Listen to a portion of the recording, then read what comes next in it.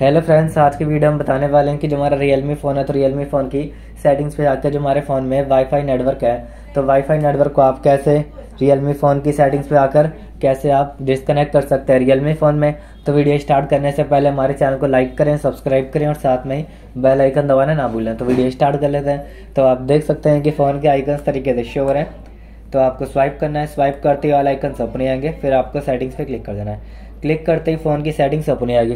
तो जो हमारे फ़ोन में वाईफाई नेटवर्क है तो वाईफाई नेटवर्क को आप कैसे डिसकनेक्ट कर सकते हैं तो सबसे पहले आपको क्लिक करना होगा।